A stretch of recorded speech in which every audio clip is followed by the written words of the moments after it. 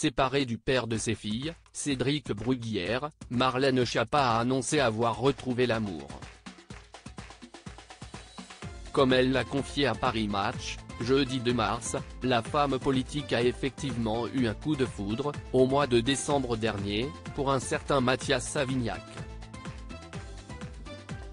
Leur rencontre a été une évidence pour elle. C'était immédiat, a-t-elle assuré à nos confrères. Notre histoire, avec Mathias, est banale, des millions de gens vivent ça, a-t-elle précisé avec tendresse.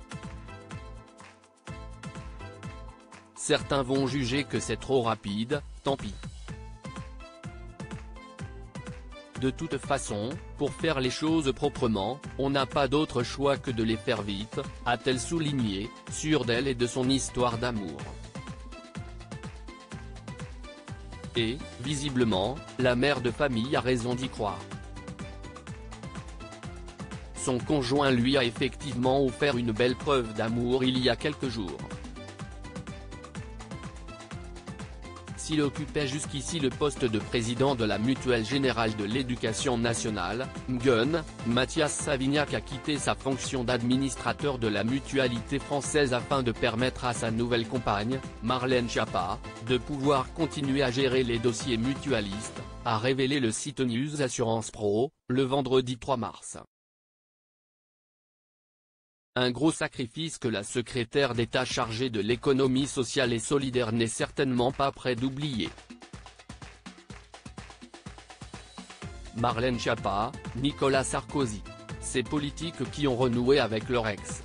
Marlène Schiappa jugée pour son idylle avec Mathias Sauvignac vendredi 10 mars, huit jours après avoir dévoilé au grand jour sa nouvelle idylle, Marlène Schiappa s'est livrée dans les colonnes de public à propos réactions assez fortes que cette annonce a suscité. C'est assez ironique de voir à quel point les femmes sont toujours jugées sur leur vie personnelle, réelle ou supposée, a-t-elle déploré. La collaboratrice d'Emmanuel Macron a ensuite rappelé que chaque femme a le droit à la liberté dans sa vie privée, même lorsqu'elle a une certaine notoriété.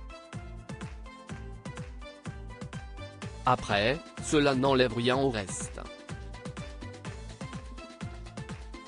J'ai eu la chance d'être mariée 20 ans à un homme formidable avec qui j'ai eu deux enfants. Et ouvrir un nouveau chapitre ne veut pas dire que l'on gomme le passé, a-t-elle conclu. Article écrit en collaboration avec 6 médias. Crédit photo, Jonathan Rebo à Panoramique.